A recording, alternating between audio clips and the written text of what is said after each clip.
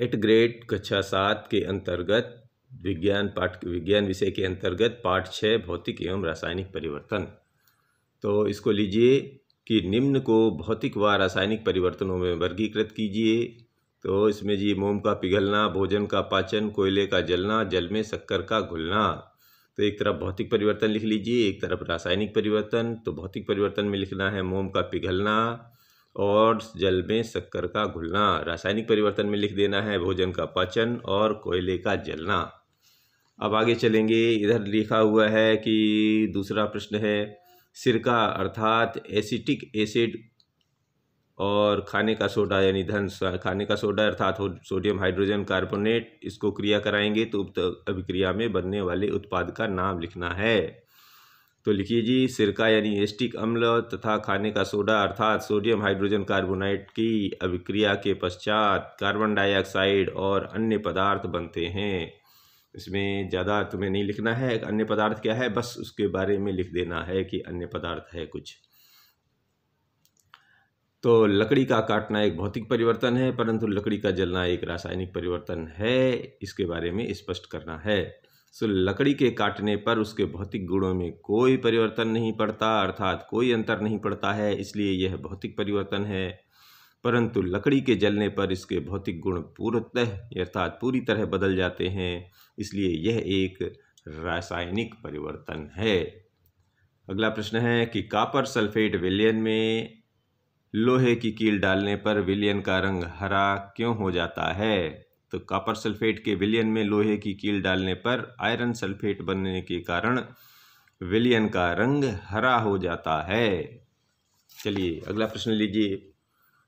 Magnesium की फीते को जलाने पर अवशेष के रूप में श्वेत भस्म अर्थात पाउडर प्राप्त होती है। यह किस प्रकार का परिवर्तन है? परिवर्तन को यह समीकरण द्वारा समझाइए।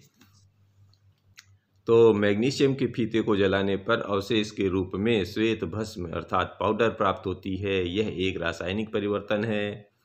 इसका सूत्र लिखना है M G plus O two M G O तो इसको देखेंगे। एम जी अर्थात मैग्नीशियम ओ टू अर्थात ऑक्सीजन और क्रिया के पश्चात मैग्नीशियम ऑक्साइड बना। भौतिक और रासायनिक परिवर्तन में अंतर स्पष्ट कीजिए तो एक तरफ़ भौतिक परिवर्तन लिख लीजिए, एक तरफ़ रासायनिक परिवर्तन लिख लीजिए, और इनको लिखना शुरू करिए। तो भौतिक परिवर्तन में लिखना है कि पदार्थों के भौतिक गुणों में कुछ परिवर्तन होते हैं।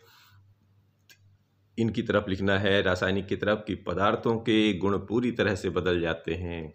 इसमें लिखना है, इसमें कोई नए पदार्थ नहीं बनते हैं। इधर लिखना है, इसमें नए पदार्थ बनते हैं। भौतिक की तरफ़ लिखना है कि ये परिवर्तन उत्क्रमणीय हो सकते हैं। और इधर लिखना है कि ये परिवर्तन अनुत्क्रमणीय होते हैं, अर्थात पुनः वापस नहीं आ सकते। रासायनिक परिवर्तन में उत्पाद बनने के अतिरिक्त कौन कौन सी घटनाएँ हो सकती हैं, लिखिए। तो रासायनिक परिवर्तन में उत्पाद बनने के अतिरिक्त निम्न घटनाएँ हो सकती हैं। एक तो ऊष्मा प्रकाश अथवा अन्य विकिरण का निर्मुक्त होना या अवशोषण होना हो सकता है। दूसरा, ध्वनि का उत्पन्न होना हो सकता है। तीसरा, गंध में परिवर्तन होना अथवा नई गंध का बनना हो सकता है, रंग में परिवर्तन होना हो सकता है, या किसी गैस का बनना हो सकता है। अगला प्रश्न लीजिए कि जब कार्बन डाइऑक्साइड को चूने के पानी में प्रवाहित किया जाता है तो चूने का पानी दूधिया क्यों हो जाता है? इस प्रक्रिया में बनने वाले उत्पादों के नाम लिखिए। तो जब कार्बन डाइऑक्साइड को चूने के पानी में प्रवाहित किया जाता है तो चूने का पानी कैल्शियम कार्बोनेट बनने के कारण दूधिया हो जाता है। इस अभिक्रिया में कैल्शियम कार्बोनेट अर्थात सी तथा पानी अर्थात एच बनता है। अगला प्रश्न है कि कापर सल्फेट के क्रिस्टल कैसे बनते हैं, इसका वर्णन कीजिए। तो एक बीकर में एक कप जल लेकर उसमें कुछ बूंदें, तनु सल्फ्यूरिक अम्ल की डालकर गर्म करते हुए धीरे धीरे चलाते हुए कापर सल्फेट का चूर्ण मिलाते हैं। यह तब तक करते हैं जब तक और कापर सल्फेट घोलना संभव ना हो। अब इस विलियन को फ़िल्टर पेपर से छान कर बिना हिलाए उसे ठंडा होने देते हैं। कुछ समय पश्चात विलियन में कापर सल्फेट के क्रिस्टल प्राप्त हो जाते हैं। इस प्रकार यह प्रश्न पूर्ण होता है। अगला प्रश्न लीजिए कि लोहे में जंग लगने की प्रक्रिया को रासायनिक समीकरण द्वारा समझाइए। आइए इसमें देखिए, क्या लिखना है कि लोहे में जंग लगने की क्रिया को निम्न रासायनिक समीकरण द्वारा व्यक्त किया जा सकता है। F E plus O two plus H two O शरीर का निशान लगा के F F E two O three. F E क्या होता है? इधर लिखना है, लोहा होता है। ओ टू क्या होता है? वायु से निकली हुई ऑक्सीजन।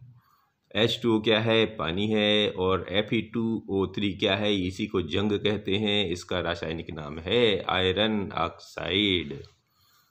तो जी, अगला प्रश्न है कि लोहे को जंग से बचाने के लिए क्या क्या उपाय करेंगे? तो लोहे को नमी से तथा पानी से बचाव करना चाहिए। लोहे को जंग से बचने के लिए उस पर ग्रीस या पेंट कर देना चाहिए। लोहे पर क्रोमियम अथवा जस्ता या जिंक की परत चढ़ाने का प्रक्रम यसद लेपन या गैल्वेनाइजेशन कहलाता है। इससे लोहे पर जंग नहीं लगता है। धन्यवाद।